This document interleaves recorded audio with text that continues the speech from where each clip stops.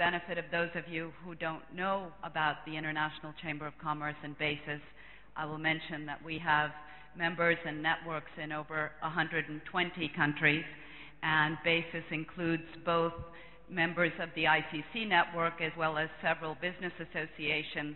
And in a nutshell, there are companies and associations with the interests of SMEs and uh, across sectors involved in the work that we do to bring business expertise to the IGF and other post-WSIS activities.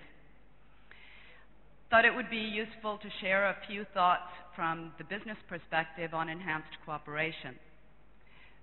It is fundamental that informed policy choices have the input of all stakeholders.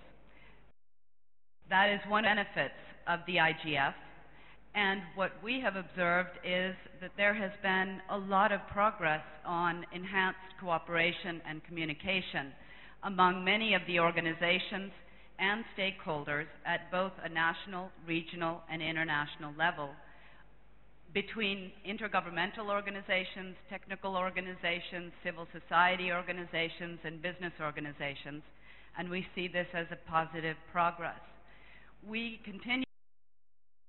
continue to work to bring more business experts into the, these discussions and are also heartened to see the number of national and regional dialogues and IGF related activities that have grown up in the past year.